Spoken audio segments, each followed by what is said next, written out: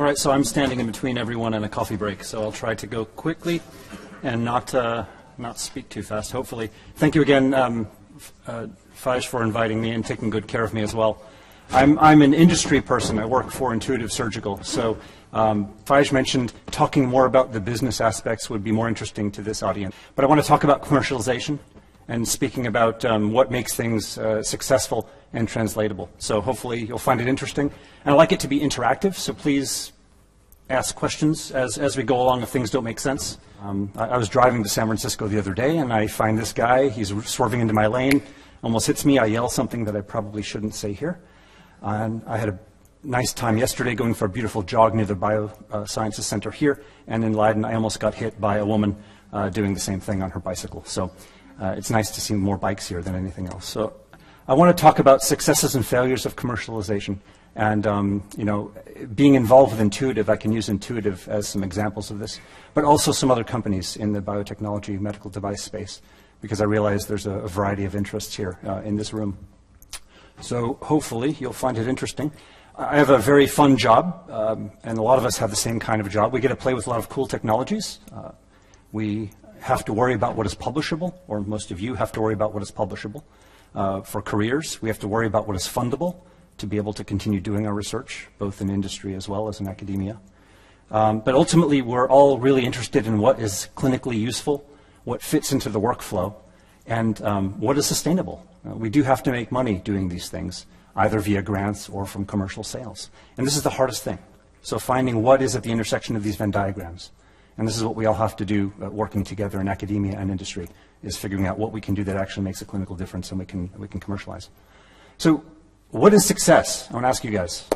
And if no one volunteers, I'm going to call on the very few people I know here. So what do you guys think of as being successful in this space? Anybody, not all at once. Getting published. Helping one patient, yeah, helping patients, that's good. Something up there I heard? Do novel things. Sorry? Do novel things. Do novel things, so novel, interesting Invent. things? Yes. Yeah, yeah. Dr. Morar? Be content. Be content, be happy, that's good. Anyone else? No, the, I I was trying to think as well what makes me happy, and similar to things, helping a patient, helping a surgeon, if we're in this forum, helping the healthcare system, getting grants, getting papers, creating jobs. You know, my company actually is the result of government grants from the U.S. Now we have over 3,000 employees. When we go to the NIH and say, give people money, we say, look, it actually creates jobs, so it, it helps people. Being happy, is a, a good answer. And making money. We, we, you know, we have to make money. Uh, some people like making a lot of money. Do you know who this is? Elon Musk. What is he famous for? PayPal, Tesla, yeah, he made his billions of dollars in PayPal, and then it enabled him to do Tesla and enabled him to do SpaceX. So when you make money, you can do more interesting things. So we have to make money to do things somehow. So you know, success from a company point of view. I, I was talking to actually uh, someone uh, from Intuitive and who had a background from Ethicon, Johnson & Johnson. And I don't know if you know the history of sutures and wound closure, but back, you know, thousands of years ago, they used vegetation. People used linen. Pig whiskers were the first monofilament suture used to close wounds. Uh, black ants, they still use in parts of South America and Africa to actually close wounds. You know, Lister, uh, Listerine, uh, the father of antiseptic techniques, postulated that silk and wax threads were actually irritating vasculature, and so he recommended catgut, and then catgut became the, the bioresorbable suture used around the world. And Ethicon, uh, what would become Ethicon in Scotland, was you know, making 30,000, using 30,000 sheep a day to make catgut. Uh, Ethicon had a majority of the suture market. And then these bioresorbable sutures, people started doing research, and Ethicon spent probably millions of dollars, I'm not sure how much they spent, to develop Vicryl. And they retained a majority of the suture market. So they didn't make more money, but they prevented themselves from losing money. So this can also be a success. You don't always have to, to, to make more. Our own company started, actually, it's our 20th anniversary this year. Um, about uh, 570,000 of these robotically assisted procedures were done last year. And it was an interesting year. You know, things slowed down in the U.S., but fortunately they, they, they were growing more in Europe and in Asia. Uh, 30% of the, the revenues that we had, the sales we had, came from international sales. Uh, a, little over 3,300 of these robots, hopefully you get a chance to play with one of these during the coffee breaks and the demo sessions, are uh, around, uh, around the world. And there are a bunch of different FDA clearances, which uh, I'll talk more about. So we, from a business perspective, it's, excuse me, it's very interesting. We sell a robot, which on average sells for a million and a half dollars. And we also have these reusable, disposable instruments. It's a razor razor blade model when it comes to you know kind of business speak, which is very interesting because in uh, in the U.S. the Affordable Care Act has limited what certain hospitals are purchasing. So when the sales of these robots slow down, as long as people are doing procedures, we actually still can fund our operations. So it's a you know it's a, it's a, a traditional business model. In the 90s, there were a lot of companies working in the minimally invasive surgery space mostly trying to reduce uh, open chest bypasses. You can see obviously a very large thoracotomy versus a minimally invasive uh, technique. Uh, the, the, idea is this is good for patients. So if it's good for patients, then there'll be business. So Heartport, Cardiothoracic Systems, and Intuitive were kind of three companies working in this space. And if you look at what happened to Heartport, they were acquired by Johnson & Johnson uh, back in 2001 uh, for $81 million. Is this successful? Yes, they were acquired. They had a product out. You know, they, if you look at the numbers, they, they raised $20 million in venture capital, which probably would thrill anyone here. More importantly, they went public. They actually, a public offering, made a few of the founders millionaires. Uh, a lot of the employees became wealthy. They were acquired, and they continued having sales. So they made $20 million, roughly annual sales, up through 2007, when they were sold again to another company for $27 million. A success of sorts. Cardiothoracic Systems, they were purchased in uh, 99 by Guidant for 300 some odd million dollars. Is this successful? Similar story. Similar amount of money raised, similar time. Uh, they were acquired in 1999 for $300 million, and uh, at that time they had about $30 million of annual sales. Um, they actually wasn't a huge premium. If you owned stock when they were acquired, it didn't go up much because of um, dilution and things like this. But also another type of another type of success transitioning to what, what we do at Intuitive, surgical robotics was, was also alive and well in the 90s.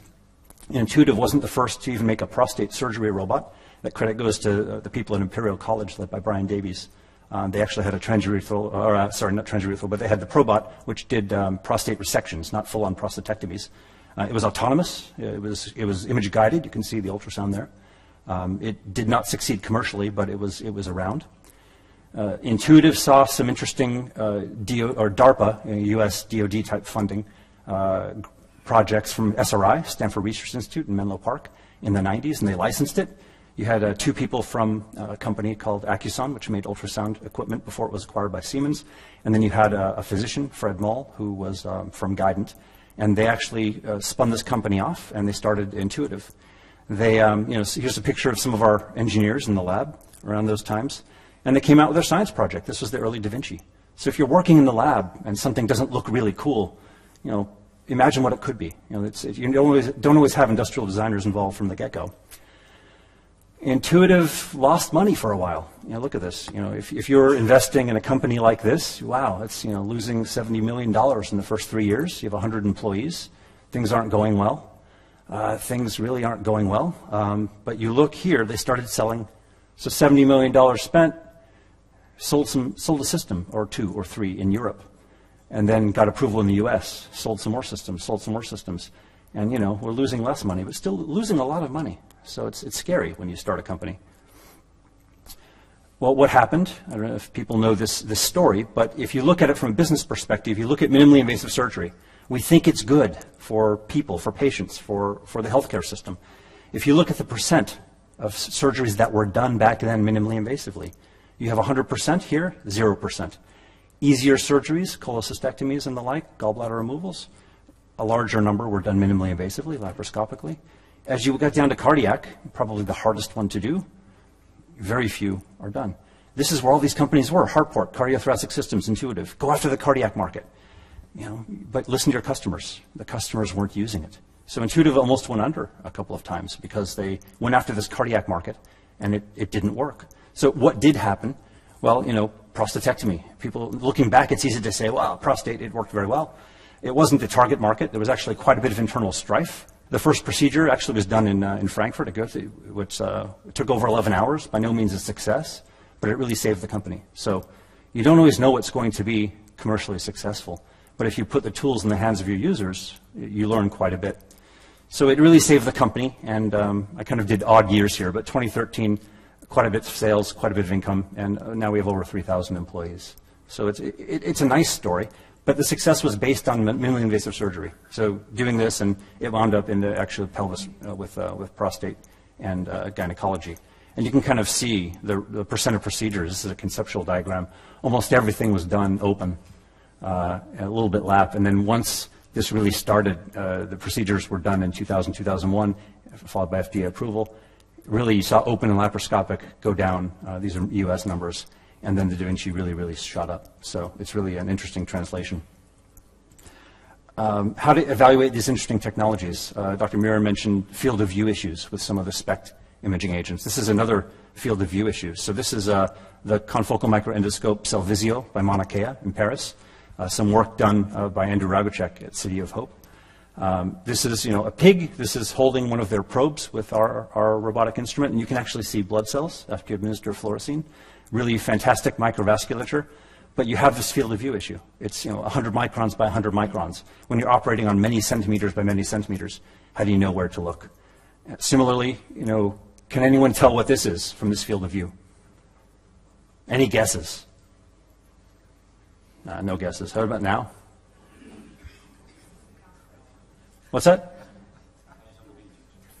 No, okay, no, no one who knows. Okay, so it's a person, right? So now, now you see it's a person. It's a person on the beach, right? Face like going to the beach. Um, but now you can actually see as you, uh, as you increase your field of view, you know where you are.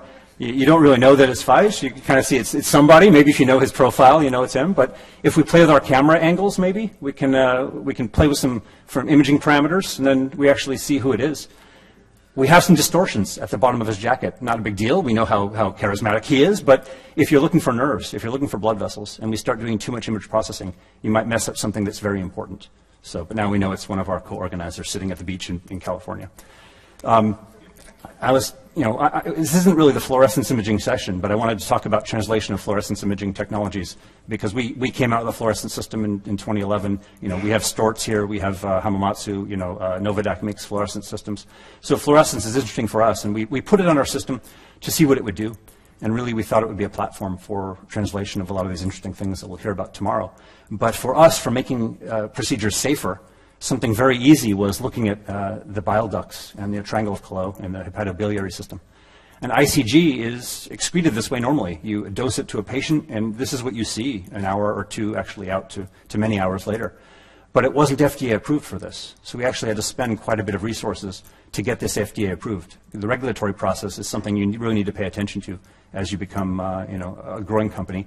Uh, it's, it's gotten you know, more, more difficult in, uh, in the last few years, but the, the advantage is there are a lot of people who know a lot about it, so you, can work to do this. But the regulatory process is important in fluorescence, and I imagine many people will talk about it tomorrow. If you look at you know, a company like ours as an example, the number of procedures. You know, we were, a, we were, as I mentioned, a urology company. Here in Orange, you have urology. This is gynecology, and then you have these uh, general surgeries slowly growing. Here, there's more gynecology than urology.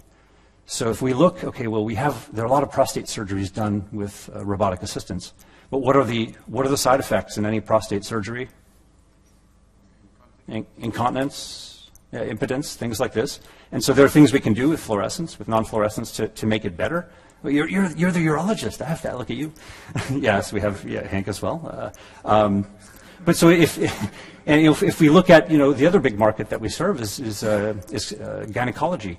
And so some of the problems with gynecology we were discussing last night is, is, urethral injury.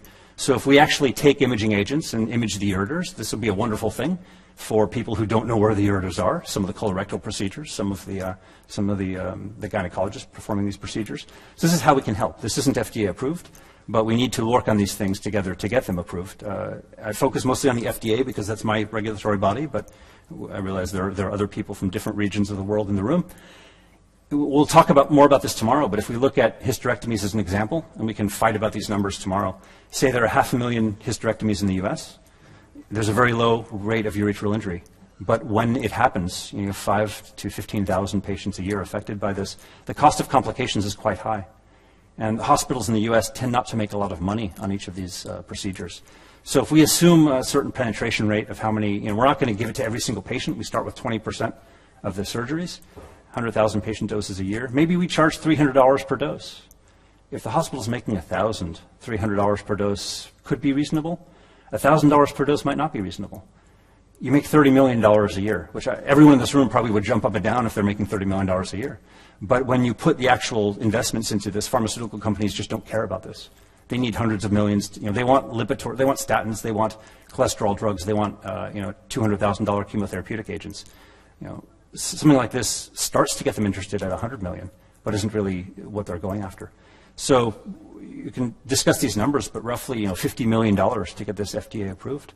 And um, you know we can argue, but in reality, no one has done it in the U.S. for less than 75 million dollars in recent years, and they even don't have reimbursement for those drugs yet. So if you look at something like this, you can make, you can make a better financial argument. You know, 200,000 breast cancer surgeries a year in the U.S. Positive margins are quite high. Um, cost of surgery, cost of recurrence, assume the same penetration rates. And, you know, in modeling, you, you make things up, but these are rather interesting numbers and probably true numbers. You probably could charge $1,000 a dose if you're reducing the secondary cost of surgery. You get to $40 million a year, 2000 a dose, $80 million a year. Still not a lot of money, but better than 30 probably a cheaper clinical trial because you've got a very high positive margin rate, and you'd have to show a reduction in this to, uh, to probably get reimbursement. So more achievable. This is some work from Laura Marcu. I want to wrap up because um, you know we're, we're on the way to coffee. If you can do this, she's at UC Davis. If you can do this with endogenous contrast rather than having to administer these external agents, it saves a lot of uh, a lot of resources. So uh, fluorescence laser microscopy is a technique where you actually look at the fluorescence decay of uh, different endogenous compounds, collagen, elastin, uh, NAD. And so if you scan this, and we're working with some of our graduate students um, and scientists to figure out if we can actually present this to a surgeon in a nice way, looking at the lifetimes of different tissues. Yeah, you know, Hank, you probably don't want to look at this, but you know, this would probably be a little bit better in terms of determining where, where nerves, where, uh, where tumor borders lie. And so these are, these are experimental, they're promising, but when you look at this, it kind of makes sense. Hey, this is, this is exciting, you know, this is something I can actually commercialize if it works. And so we, we have a bit of, of, uh, of work to do to make sure that it actually works. Ultrasound, uh, many of you probably use ultrasound. Another example of how to translate something. You know, we're not an ultrasound company, we're a robotics company, but we saw a lot of surgeons doing partial nephrectomies. We're having someone stick a laparoscopic ultrasound probe in. And so we simply went to a couple of ultrasound companies and said, can you make it graspable by the robot? And sure enough, two of them, BK and Aloka, did such this. And uh, you can actually see the surgeon now has independent control of the ultrasound probe, can look for vessels, can look for tumor depth. And for us, we can start looking at some visualization techniques. You know, how do, this is in the liver, how do we actually present this information to surgeons in a way that they understand? And you can see vessels, you'd be able to see uh, other defects, tumors. And so, you know, we wouldn't actually make the actual uh, gathered, the data gathering device, but we might be able to, to actually play around with the augmented reality aspects of it. So why do companies exist? Once again, audience participation. Make profit. Okay, that's pretty harsh, but okay. Why else? Help. What's this?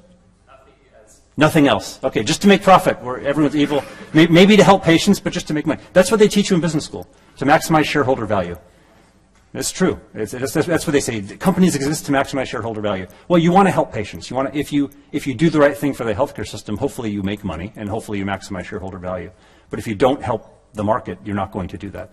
You know, we're, a company, and we if you look at our finances, we you know people who own our stock, you know, it's like 90, 93 percent are investors, not you and I, but mutual funds and people like this. So so if we do things as a company to upset these guys, they're going to remove our management and tell us to do something else. That's the problem with being a public company. If you're a family owned business, maybe you have the founder, uh, the founder's children to make happy, they make the decisions. For us, the investors trust our management with the money that we make to do something with it. Hopefully, it's long term. Hopefully, you're not thinking about next quarter. Hopefully, you're thinking about five or ten years from now.